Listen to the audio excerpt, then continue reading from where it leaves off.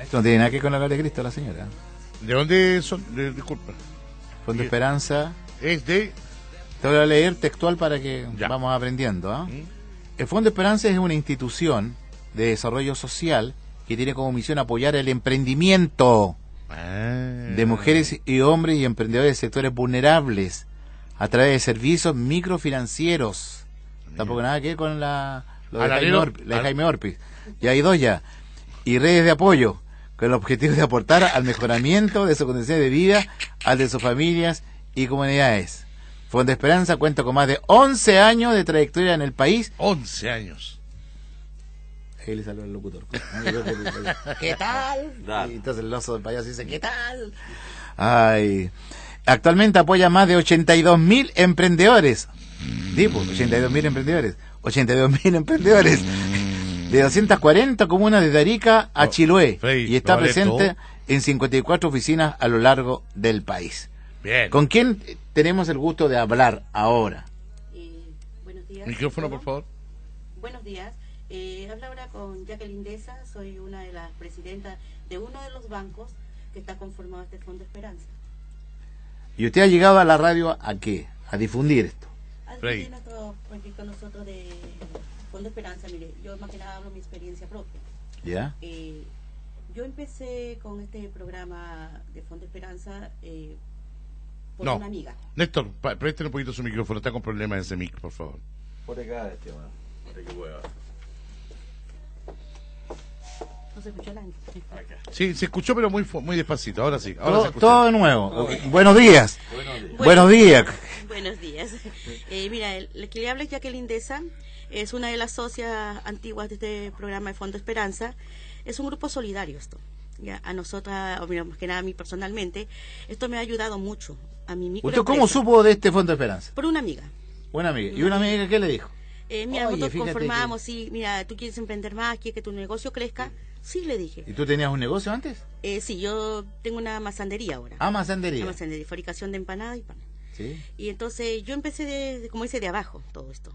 Entonces poco a poco ha ido surgiendo mi negocio. Muy bien. Pero con esta red de apoyo. También hay una, esto conforma una red de apoyo más que nada. Ya. Eh, una de mis socias es mi clienta.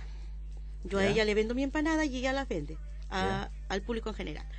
Entonces todo esto a nosotros nos ha ayudado mucho, a muchas socias. También, claro, este programa de Fondo Esperanza eh, no tiene condición social más que nada, es más que nada la gente más vulnerable. ¿Quién te da la plata? Ellos, Fondo ¿Quién? Esperanza. Fondo Esperanza. Esperanza. ¿Y, y Fondo Esperanza quiénes son? Es una institución. ¿De Santiago? Sí, son de Santiago ellos. Ya. Más que nada que ellos están, como dicen, ¿no? Eh, con el hogar de Cristo, pero no el financiamiento no es de hogar de Cristo. No, Esto no es del hogar de Cristo, no, te reitera. no es... No es Pero parten al alero de ellos, Néstor. Comienza esto al alero del hogar de Cristo. Como un techo para Chile que también comenzó al alero del hogar de Cristo y después se, se separó. No sale, a ninguna, Efectivamente, se separa. no sale a ninguna parte de gordito. Pero es así, Néstor. Créame. No, es que a ti no te creo. Créame. No sale a ninguna parte que del, del, texto que me mandó la señora. ¿Cuál es su Créame. relación con Hogar de Cristo? Fondo Esperanza es una fundación asociada al Hogar de Cristo, si bien Ah. Viste, ahí está, pues. Ah. ¿eh? ¿Qué te dije yo? no te creo. de formar independiente y compartimos el carisma del Padre Hurtado y la visión de trabajar, es solamente el carisma y la visión de trabajar para la superación de la pobreza en nuestro país. ¿Y cuál es nuestra relación Yogi con está la muerto fundación? ¿eh? Tiene razón. Usted no es de acá. No, yo soy extranjera, soy peruana. Y a- o sea, este Fondo Esperanza va no importando nacionalidad, no nada. importa la nacionalidad. Ah. No importa la nacionalidad. Enumerémonos. Uno, dos, ya. Ya se Acá, va. t- tanto como Perú, Chile, Bolivia y Ecuador, Colombia están ayudándolos con este programa. Este programa existe en muchos lugares. Más que nada que este, nosotros, este, más que nada venimos a difundir nuestros 11 años. 11 años que tiene nuestra institución. 11 años. Eh, cuéntame una cosa, ¿y cuántas lucas les pasan? ¿Y cómo, cómo es el sistema de lucas para que la gente lo sepa? Mira, nosotros al principio cuando se forman los bancos se empiezan con 70 mil a 110 mil pesos. Ya. Esa es la base. Pero llegamos hasta los, los 900 mil pesos. Es que uno va escalando por ciclo. Digamos, eh, cuatro meses duran estos ciclos. Entonces, si empezases con 70, en el siguiente ciclo ya no empiezas con 70. Va subiendo. Es como una escala de emprendimiento. Ah. Entonces nosotros devolvemos este dinero semanalmente. Ah, perfecto. A la vez tenemos capacitaciones. Ellos nos dan ¿Qué una- pasa con quien no lo devuelve? Ya, el, que, el que no le devuelve en sí, nosotros formamos una... A ver, ¿cómo te explico? Tenemos una caja chica, sobre todo. Y para nosotros nos puedan facilitar este dinero, nosotros hacemos una coavalidad. Ya, perfecto. Somos coaval de las deudas de las demás socias. Ustedes pagan en caso que la persona se vaya con esta caja chica. Es como los bancos, los cajeros bancarios que tienen una caja chica para casi parecido, pero esto funciona de otra manera que nosotros hacemos actividades o dinero directo, pero mayormente lo hacemos con actividades de nuestros socios. ¿Cuántos los préstamos que me dice que le hacen? Desde 70 mil hasta los 900 mil pesos. Mira. Yo voy a en la última etapa de los 900, ya he ido ya. Usted tiene que ganar ciertas cierta, mm, cierta etapas para los 900 mil. Es que hay que ir escalando, como le decían mm, antes. Hay que ir escalando, cada ciclo va subiendo. Ya nosotros tenemos mi banco, Génesis, ya tenemos tres años ya. ¿Y usted qué rubro dijo que hacía? Yo tengo una masandería. A masandería. ¿Le ha ayudado mucho el Fondo Esperanza? Sí, gracias a Dios que sí. Eh, ¿Y cualquiera puede participar de esto? Sí, cualquier persona.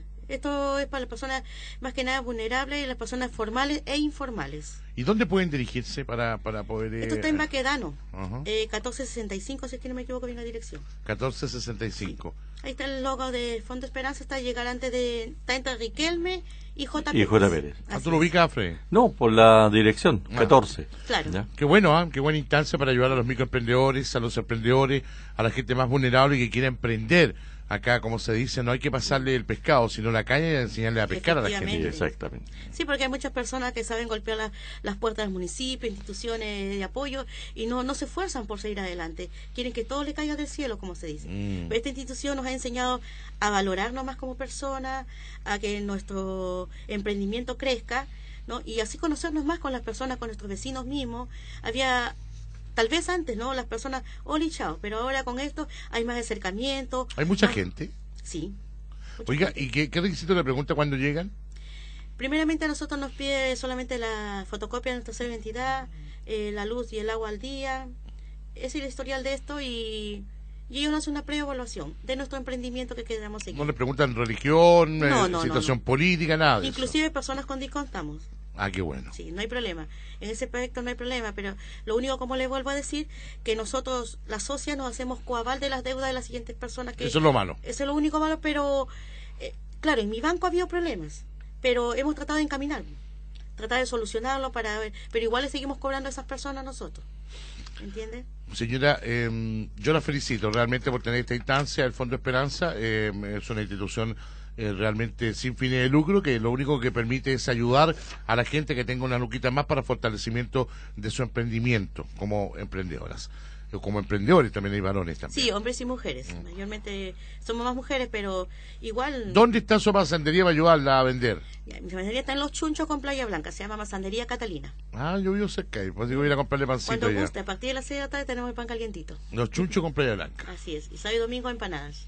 ¿Buenas empanadas? Buenas empanadas. Perfecto, ya lo sabe. Vaya a los chunchos con Playa Blanca, Masandería Catalina, es de una emprendedora, ayude a esta señora, buena moza, simpática, para que pueda eh, llevar más arriba su negocio y después tenga una panificadora. Uy, qué bonito, ¿cierto? Eso es, el sueño de todos, toda la familia. Y más que nada, agradecer a Fondo Esperanza por la oportunidad que nos ha dado a todas mis socias y yo creo que a todos los socios que estamos incluidos, porque, como se dice, no si no fuera por ellos, no, no creciéramos ahorita, porque ahorita los bancos, eh, muchas personas estamos indicados, no nos facilitan y nos piden hartos documentos para poder tener un crédito. Mi gran lucha para con el tema de DICOM, para sobre todo los emprendedores, pero bueno, habrá que esperar otros gobiernos para, para poner en tapete esto. Muchas gracias, señora, ¿ah? que le haya muy bien. Gracias. Hasta luego, muy amable.